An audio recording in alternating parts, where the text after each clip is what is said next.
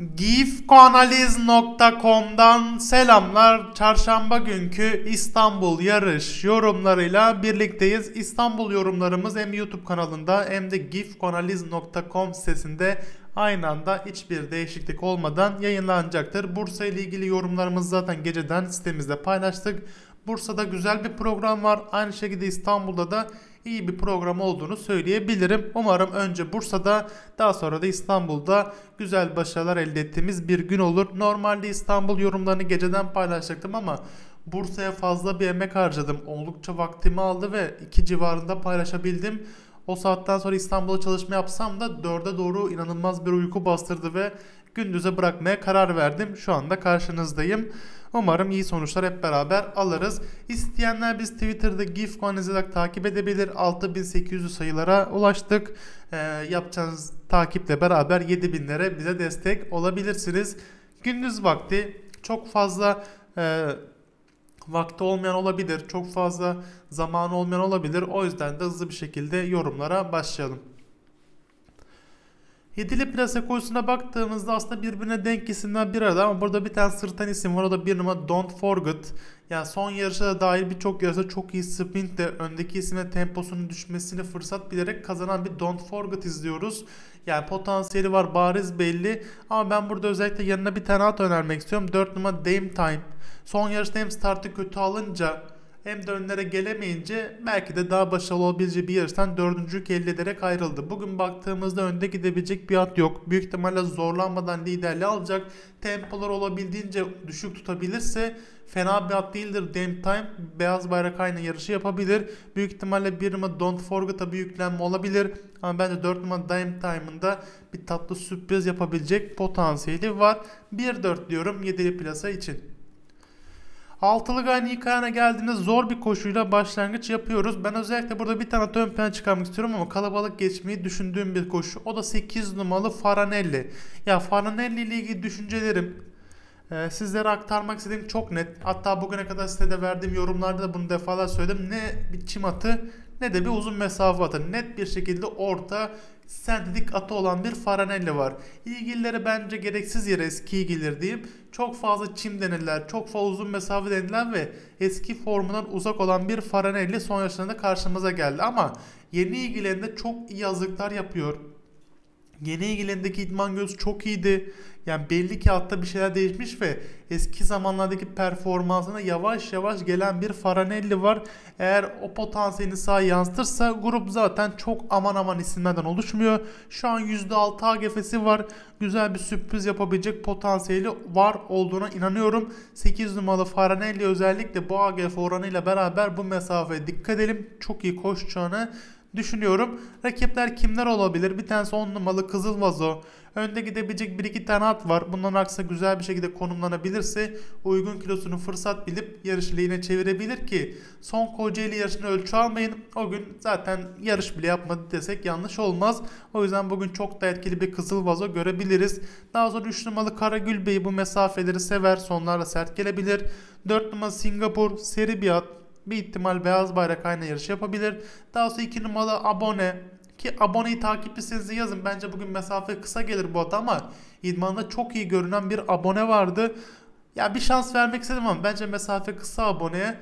E, ilerleyen zamanlarda uzun mesafeye dönerse aklınızın bir köşesine yazın. Abone iyi yarışlar yapar. Daha sonra 9 numaralı Gürdal Bey. 6 numaralı Fırtına Vadisi. 7 numaralı Lazoğlum ve 11 numaralı Nossi yazarak burayı bu şekilde geçebilir. 8 numaralı Faranelli'ye özellikle ve özellikle dikkat edin. Diğer atları bütçeniz dahilinde kendiniz belirleyebilirsiniz. Sıralamam 8, 10, 3, 4, 2, 9, 6, 7, 11 şeklinde. Üçüncü koşuya geldiğimizde burada dikkatimi çeken isim zaten son zamanlarda bahsettiğim bir at 10 numaralı Zafer Rüzgarı. Yani Zafer Rüzgarı devamlı kazanıra girip devamlı kazanacağım izlenimi verip bir türlü sonuca varamayan öyle ya da böyle kendisine geçecek bir rakip bulan isim.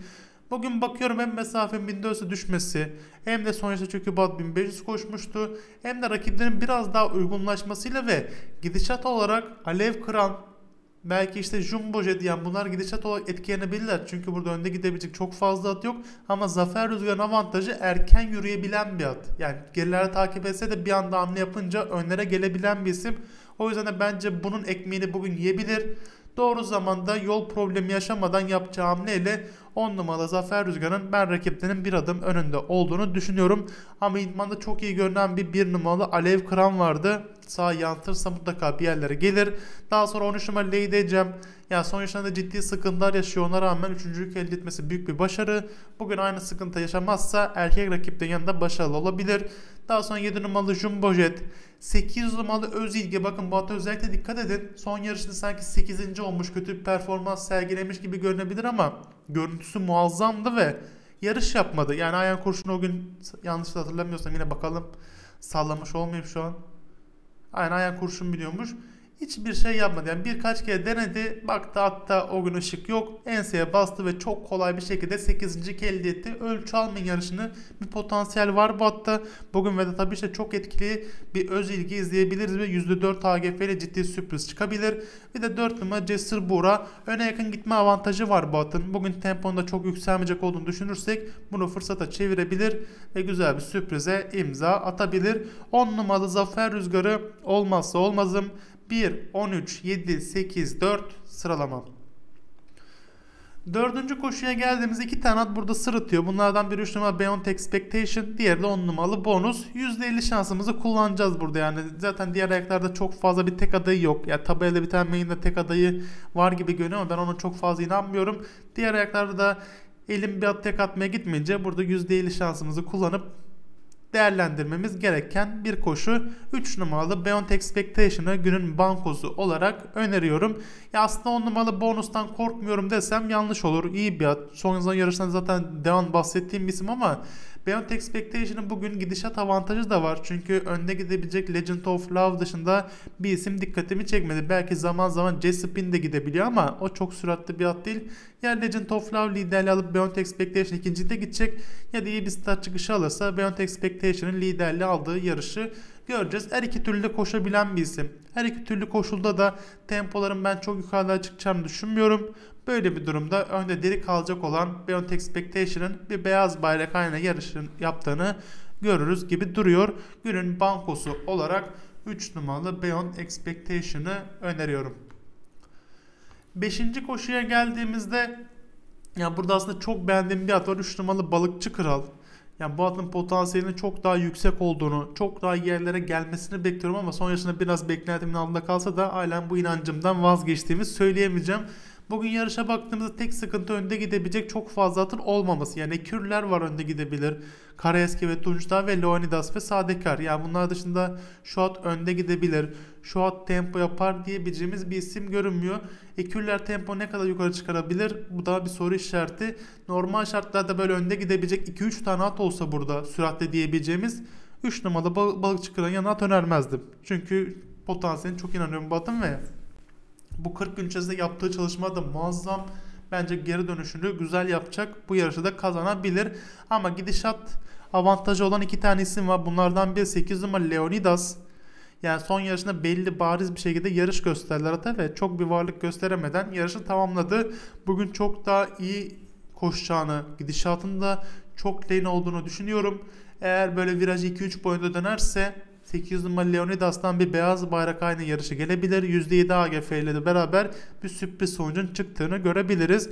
Daha sonra 6 numaralı kara eski ekürlerden ve son olarak da 4 numaralı Bay Reisoğlu'nu yazarak burayı 3 önde 8 dikkat edin 6 ve 4 sıralamasıyla geçebiliriz.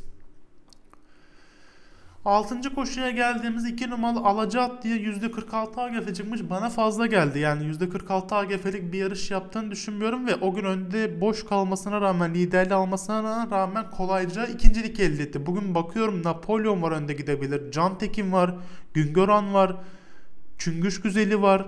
Yani önde gidebilecek bu kadar at varken ben 2 numaralı alacağı atlayıp bir tık geri plana bırakacağım ve ben burada AGF'de geri planda kaldığını düşünüp 8 numaralı Örskan'la başlayacağım. Yani %8 AGF'lik bir at olduğunu kesinlikle ve kesinlikle düşünmüyorum. Son dördüncülüğünde zaten aynı gün farklı meydanlarda koşmuşlardı ve Örskan o gün 1.43.66 yaparak iyi bir derece imza attı diyebiliriz.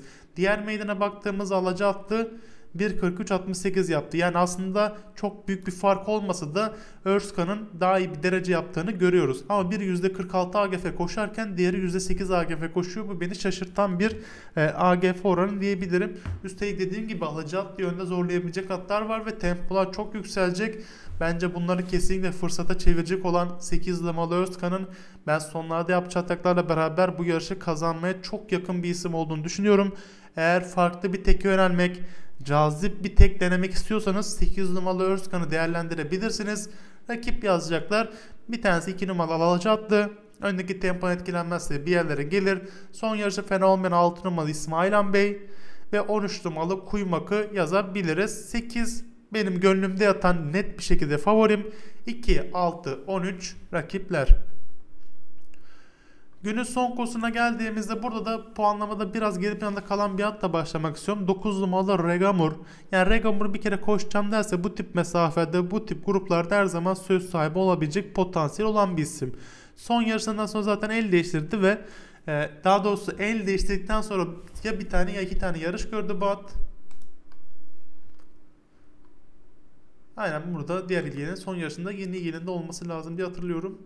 Aynen yeni ilgilinde. Ondan sonra da bir araya girdi ve bu 98 gün içerisinde çok ciddi azıklarla bu yarışa geliyor ve uzun çalışmanın çok fazla olduğunu söyleyebilirim. Ben aradan herhangi bir şekilde etkileneceğini düşünmüyorum ve bugün Regamor'un mesafe avantajı da var. Çünkü Regamor öne yakın giderek başarı sağlayan bir isim.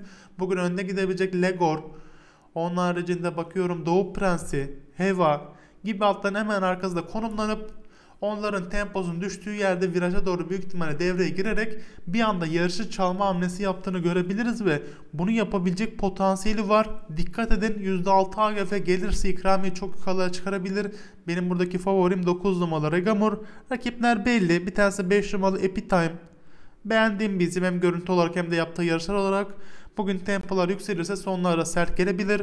Daha sonra altıma Mystery Focus ve son yaşta bir kıpırdanma içerisine giren 7 numaralı Prenses Zülal diyorum.